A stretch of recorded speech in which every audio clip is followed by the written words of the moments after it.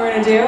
Um, I got this song, um, this song was sent to me and I was actually finished making my Stronger album and we were all finished and, and I was so excited about that fact. But I got this song and God, this song is just perfect for me because I have worked with this guy, I have dated plenty of this guy. I, I, just know there's probably some of those guys right here in the audience unfortunately.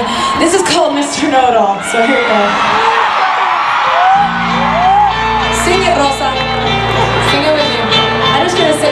és szépen nagyon rosszak.